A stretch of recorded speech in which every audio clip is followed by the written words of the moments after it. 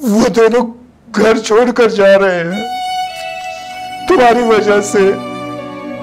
मेरी वजह से? क्यों मेरी वजह से? ऐसा क्या कर दिया मैंने? मोहब्बत किया ना बाबा, गुनाह तो नहीं कर दिया।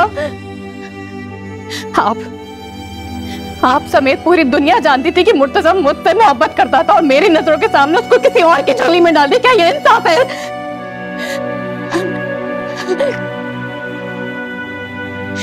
मुर्तजा खुश नहीं है उसके साथ? वो खुश नहीं है उसके साथ, बाबा। वो मुझे पसंद करता है। वो वो वो मुझसे शादी करना चाहते हैं।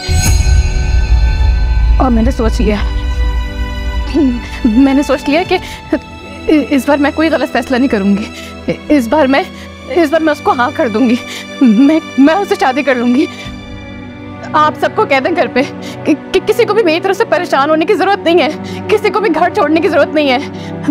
वैसे भी मैं मैं अब ज़्यादा दिन नहीं उस घर में। मैं उससे शादी कर रही हूँ।